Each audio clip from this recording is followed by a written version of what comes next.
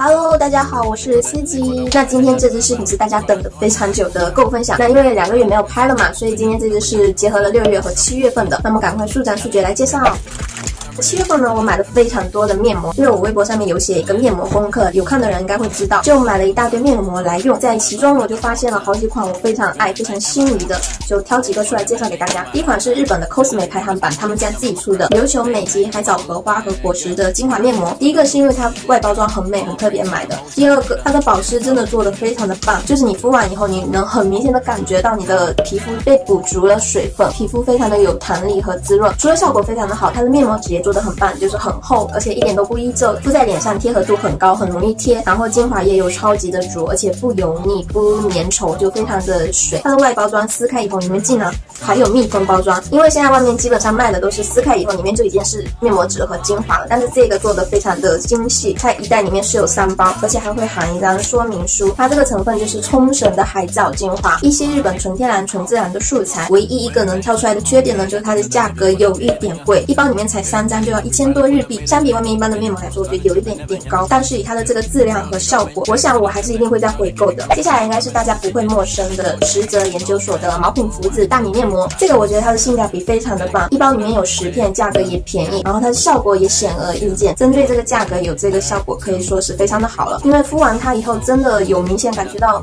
毛孔会被紧致起来，就主要敷完还是很舒服吧，很舒服我觉得，而且很保湿，一点都不刺激啊，会感觉到肌肤的一些很小的毛孔孔都打开，把它的水。分给吸收进去了，因为我目前只敷了三四张，它就可以给我这么明显的效果，所以我觉得用完了还是可以再回购的款，还挺好的。仅次于大米面膜呢，是这一款，也是实泽研究所的。那我觉得它的效果会比刚才那款再更微弱一点，但是也不差。然后它的紧致毛孔增加弹力的效果是没有大米面膜的那么好，反正就仅次于大米面膜啦。因为这款也是石梅妆，然后白菜酱，整体来说是非常的值啦。那没有用过的也可以试一下这个，说不定它会更适合你呢。还有一个面膜比较冷门，但是我还是想。介绍一下这个牌子，我会打在屏幕下方。它不在药妆店卖，也不在专柜卖，它是在那个日本的美容院、SPA 啊、皮肤管理的那些美容院里面会卖。我这个也是朋友那边拿的，入手方式会比较困难啊，但是我觉得它效果真的还蛮明显的，保湿啊、嫩肤啊、弹力啊，做的都非常的棒，就敷起来的效果还蛮好、蛮明显的。就是价格贵，它一包的价格要两千多块、三千日币吧，所以还算挺贵的。如果每天敷的话，可能有点消耗不起。我觉得比较适合有条件的人，一周一次或者一个月一两次的特别护理。来用它的用法也是比较特别的，大家能不能看到它是两层密封的，上面一层呢是面膜的纸，是干的哦，下面呢是精华液，因为它下面的这个精华是有含很多的维 C 成分，维生素 C 遇到空气的话会氧化掉，所以它就为了更好的保湿鲜度，就做成了这种形式的。用的时候把中间这一条密封的压线把它给挤软掉，就让美容液这样倒过去，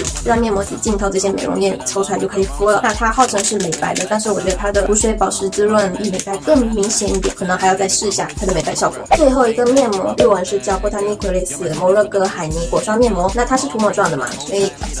就是泥状面膜了。我会喜欢它的原因是，它涂抹在脸上的时候一点都不紧绷，就是你的表情啊，你的脸部自由自在的活动都是 OK 的。因为我用过别的一些涂抹状面膜，要不然就是会干，要不然就是很紧绷，它是完全不会。而且呢，它的质地涂上去非常的滑，就好像涂了一层油的果冻一样。反正你涂在手上的时候，一直是处于这种状态，滑嫩嫩的。另外呢，它敷完以后的脸非常的嫩滑，就是会忍不住手想去多摸几下脸，就觉得哎呀，我的脸怎么这么滑呀？老是爱摸，算是深度清洁面膜吧。所以比较建议一周用个一到两次这样的，不适合每天用。价格我记得也还好，并不是很贵，反正这个也还不错，我觉得。新入的两款 LAFLA 的产品，反正两款都是他们家的明星产品。最火的是这个，他们家超级畅销的，也是很多排行榜的第一位，橙子卸妆膏。另外一个是橙子的泡沫洗面奶，反正我到时候会出具体的功课，嗯，记得去我微博上面看就好了。今天就先分享一下我买的。好的，接下来说一下彩妆的。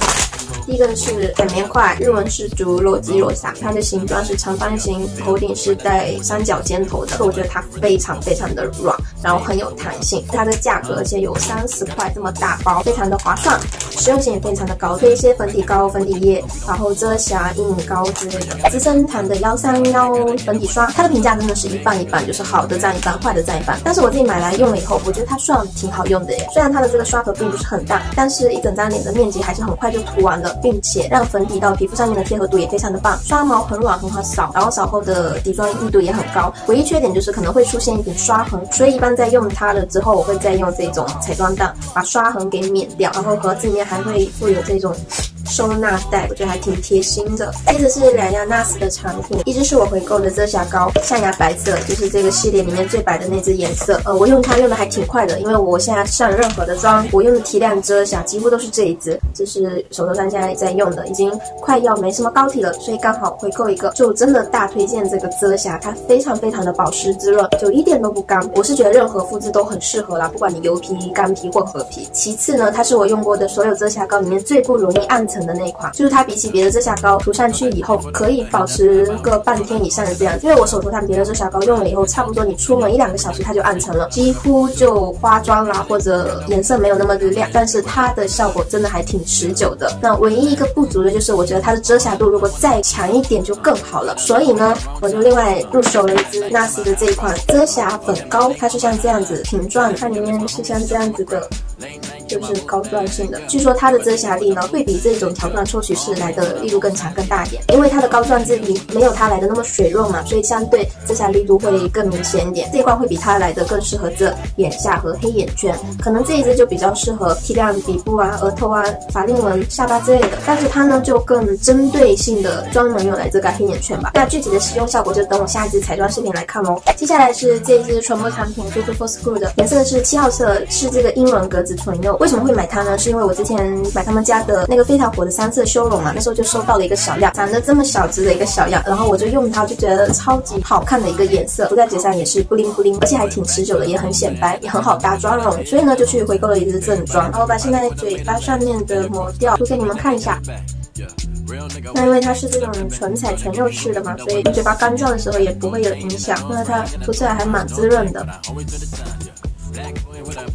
然后它涂在嘴上的这种光泽感，嗯，还可以持续挺久的。经常涂它出门，它就非常可以保持一整天都是这种光泽油亮的状态。好啦，最后一样是关于美甲产品，光疗甲卸除液。有做光疗甲，有不想去店里卸的朋友，因为日本的美甲店在店里面卸光疗甲的话是要加钱的，所以如果买一个这个，只要八百多日币就可以自己在家里卸，就跟在美甲店使用的方法是一模一样的。所以我觉得这个还是挺省时省钱的一个小工具。那日本美甲行业就做的非常的发达嘛，所以从自己挑选材料做光疗甲。到卸甲，一条龙服务的美甲产品都会卖，所以就很方便。那这个如果大家买得到，也可以找代购去买一下，这个还挺好用。那最后一个呢，分享一个跟美妆护肤没有关系的东西，我入了一双 M O D A 的鞋子，就是个别我觉得特别好穿的衣服或者鞋子，可能以后我都会拿出来分享。呃，这个是 M O D A 最近新出的一个款式，有点带黑漆皮的鞋子吧。大家不要嫌它的跟太高，我就是喜欢它跟这么高我才买的，因为我天生矮子嘛，反正出门不穿高点的鞋子我就没有底气。首先看它这个鞋子，觉得还好，就一般嘛。但是穿在脚上超级超级的有 feel，很棒，很好看，很显脚瘦，脚踝瘦，而且穿上它，你的腿从视觉上面看立马变长两米。主要就非常喜欢它穿出来的效果，太显高，太棒了，而且又是这种低调中带一点酷酷风格的黑色，呃，所以我觉得很好配衣服，比较容易配休闲风啊，或者平时比较辣妹风之类的。可爱风可能并不是很配吧，因为它这里有铆钉的设计。反正我是最近还挺喜欢穿这种酷酷的风格。好啦，以上就是六七月份的购物和爱用品分享，那希望你们会喜欢这支视频，然后记得帮我转发下支的购物视频。再见了，拜拜。